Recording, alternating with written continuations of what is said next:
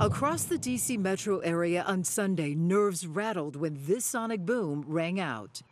The moment caught on different cameras, this dog lounging on a deck startled, and a couple recording a song jumping up after hearing that boom. First thought was, um, are the kids all right? The way it rattled the house. It was uh, very jarring, and I think we both initially um, thought that it had to be an earthquake. But officials say the sound actually came from an F 16 fighter jet, one of six launched by the U.S. military, traveling at supersonic speed.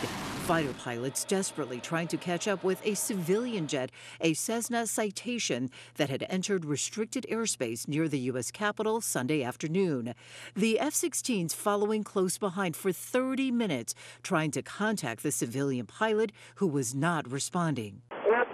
Stopping 72, 75 is an armed air defense fighter on guard, 1.5.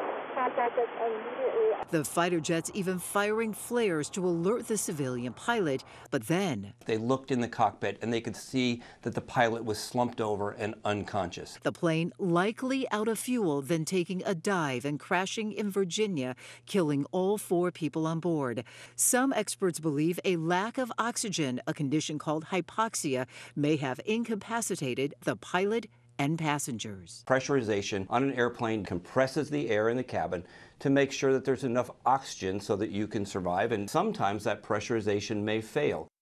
Yeah, still so many questions right now. According to the FAA, the plane had taken off from an airport in Tennessee and was heading to New York's Long Island, which it did reach, but the flight path shows it then turned around, likely on autopilot before crashing in Virginia.